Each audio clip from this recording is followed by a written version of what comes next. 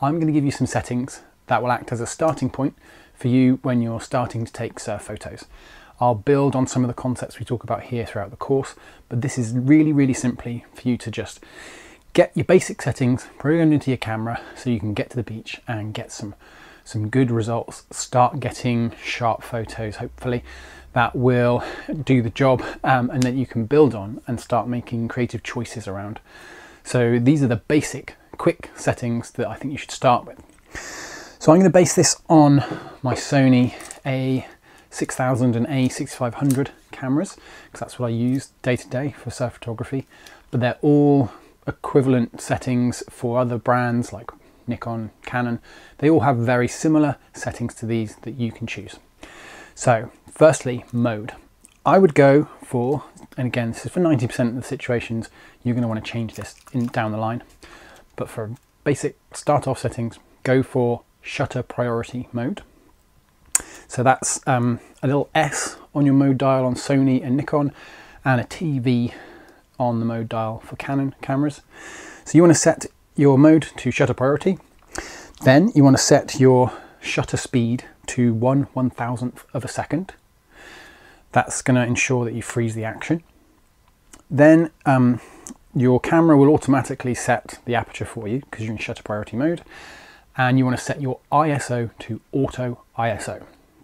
That's your basic exposure triangle settings.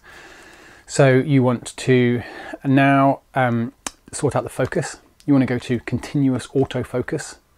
And again, there's a few different names for that depending on your brand. But for, for Sony, it's continuous autofocus. And you want to select the center focus point. Again, it's just a rule of thumb. So I'll talk about this in a lot more detail later. So you've got center focus point, continuous autofocus, shutter priority, thousandth of a second, auto ISO. There's some other settings that you want to change on your camera which are more general. So what I'm going to go through is a good starting point for surf photography. I would go for RAW plus JPEG. That's the type of image that your camera captures. Um, I won't go into detail on why that is, but that is a really great place to start for a number of different reasons. Then image size. With a Sony camera in particular, you can then set what size of JPEG image the camera saves. And I go for small. And that's because the reason I have JPEGs in there as well is so that I can transfer them quickly off the camera into my phone, do some quick edits and post them online or send them, more likely send them to the person who's in the photo or family and friends, whoever you've taken a photo of surfing. So by going RAW plus JPEG, you're getting RAW file, which is the one that you want to edit um, and produce prints and anything high resolution um, you're going to be editing the raw file and outputting a, probably a JPEG from that. Um, but the JPEG, raw plus JPEG, captures two files for each shot that you take. The JPEG is just for zapping quickly to your phone. So I choose small, which reduces the file size, makes it easier to transfer it from your camera to your phone. Simple as that. The next one that I would change is the drive mode. So that's the burst mode of the camera, how fast it takes photos when you hold down the button. And I would change that to the highest speed you've got. So that's high plus on the Sony cameras. Um, and that just ensures that when you do hold the shutter down, it'll use the full fastest speed that you can, take as, as many photos as it can, but until you let go of the, your finger. So with the A6500 in particular, it has a really big image buffer, so it can save lots of those photos and keep going for a long, long time, longer than you'll ever need for surf photography in my experience.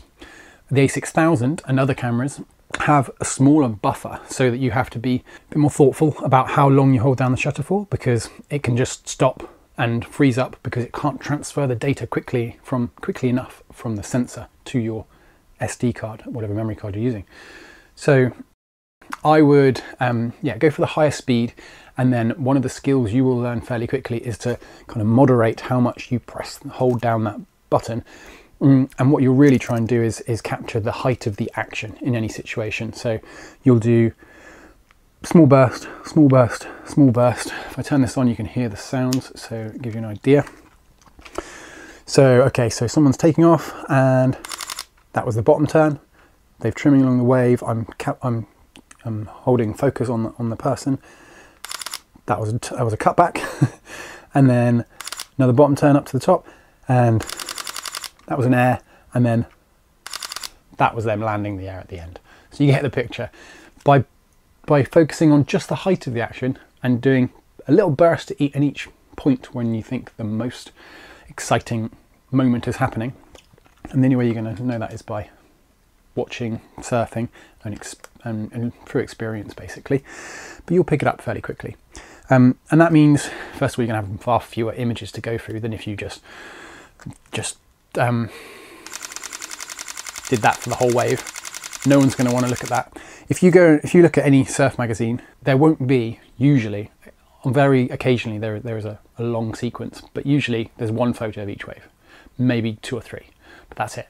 So you it's rare to need any more than a couple of shots of a wave basically the problem is you don't know which shot's going to be best until after the, the fact so you need to capture each little fraction of the wave which is interesting and you need to do two or three shots of each part of the wave which is going to be interesting and then you just pick the best one and it makes it a lot easier to review your photos afterwards and it makes sure you don't run out of buffer on the camera and end up missing a shot which would have been the best one of the, the whole lot. So yeah, stick it drive mode slash burst mode, put it in the highest, fastest possible. Um, there's some cameras which um, there, there are really, really fast modes which will lock focus um, at the start on the first frame and then because it doesn't have to autofocus after that, it enables the camera to take it even faster. I'd avoid those modes. I'd go for the one before that, the fastest you can do with continuous autofocus. That's the mode to go for. That's pretty much all of the, the, basic ones. On the Sony camera, the 6500, I would activate Bluetooth mode as well. You're probably going to want to pick up a few spare batteries because you, you never know when you need another battery. But if you activate Bluetooth mode, use a bit more battery, but it enables you to synchronize with your phone and use your phone's GPS um, um, satellite connection to plot the, the GPS con- um, coordinates against the images that you take on your Sony camera, which is a godsend when you're going back through your, your photos. Maybe not that day because you're going to remember where you were that day, but in six months' time, if you want to quickly look on a map to see, oh, I was at that spot, I wonder the conditions look good for spot X. So let's see what I did last time maybe I want to try something similar or try something totally different and you can find it really easily using the map rather than going back and trying to remember when it was you're at that spot. So that's my basic quick start settings um, for surf photography and as you go through this course you'll notice that I, I do explain uh, different settings for different different lenses, different types of photo and various other aspects too but that should get you going nice and quickly if you just want to run out the door and set your camera up.